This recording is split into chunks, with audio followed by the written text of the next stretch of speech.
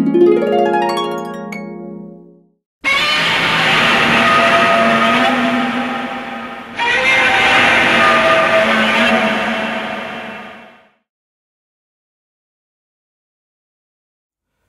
Hey, a lot of you out there probably already know that this past weekend I put a video up where I was addressing some rumors that people had started about me that I was now a werewolf, that I had been bitten and I was a werewolf.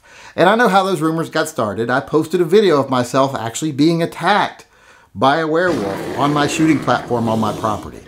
That's where people started thinking, oh no, you're a werewolf. The reason they started thinking that was because they were like, there's no way you got your gun around quickly enough to take care of that werewolf. He was right on you. And also, why would you have silver bullets in your practice gun? Well, I didn't. I didn't have silver bullets in my practice gun. And as much as I'd like to pretend like, oh yeah, I'm just that fast, I can get around and get him, that's not what happened. I didn't get bitten by that werewolf because I was prepared. I never go out into the woods, not even on my own property, unless I'm wearing my WAPS belt. Now you might ask yourself, what's a WAPS belt? Well, it's WAPS, and that stands for Werewolf Anti-Penetration System. It's a really simple mechanism. It's just a belt you wear, has a small firearm attached to the back, and through a system of little levers, if a werewolf tries to deflower you, those levers are depressed, the gun fires.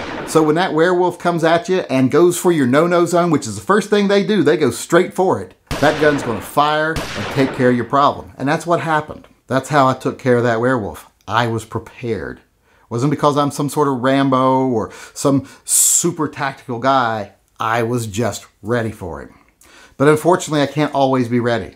You can't always be prepared. You can't always keep your guard up. And unfortunately, I let my guard down when I was at the Gun Rights Policy Conference not too long ago. One night, I was in my hotel room and I decided I had to leave. I would have been okay if I had just stayed in my hotel room. Looking back now, I'm just like, don't leave the hotel. It's common sense. But I had no choice. I had run out of gummy bears and Twinkies at the same time. So I had to venture out in the night to a store down the street. Well, it was a particularly dark night. And I was walking along and I noticed, you know, even though it's dark, when the clouds parted, I saw there was a full moon. And when I saw that full moon, I started to worry just a little bit. I should have turned around and I should have gone back right then and there. Looking back, I know that would have been the right thing to do. I should have just ran. But I didn't. And then suddenly it came at me. Out of the darkness, it just came at me so quickly, I had no idea what was even happening. Before I even knew what was happening, it was too late. And since that day, I've been fighting with everything I have. I have been fighting. Lord knows I've been fighting. I've been doing everything to resist. And I just can't. And now that it's about to turn midnight on the night before Halloween, I can't resist anymore. That is the most evil night of the year. There's no way I can fight it anymore. But I don't want to hurt anybody. I, I, I thought maybe I should just do myself in. But I can't. I'm too big a coward. Uh, but my other fear is that I will hurt somebody else. So I thought I'd better warn people. I should make this video and warn people. Even though that video I made earlier about being a werewolf, I made light of it I joked about it. I only did that because the reality is way worse.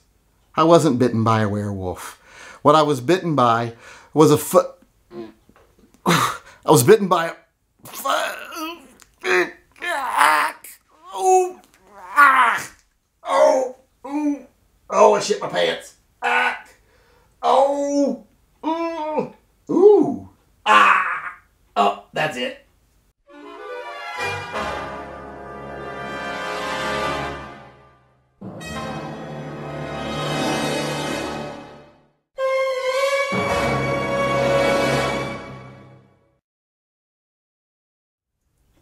uh, oh, howdy. Imagine seeing y'all here. Hey, it's almost the end of the month. Y'all bought anything from Buds yet? You need to go buy yourself something from Buds.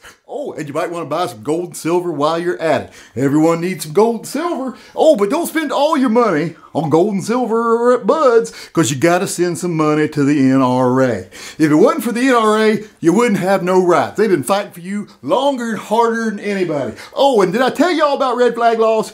No one ain't got to worry nothing about no red flag laws. Red flag laws ain't never not hurt nobody. The government ain't coming for your guns. Not the good ones, anyway. Nobody ever needed a bump stock anyhows. If you can't hunt with it, you don't need it.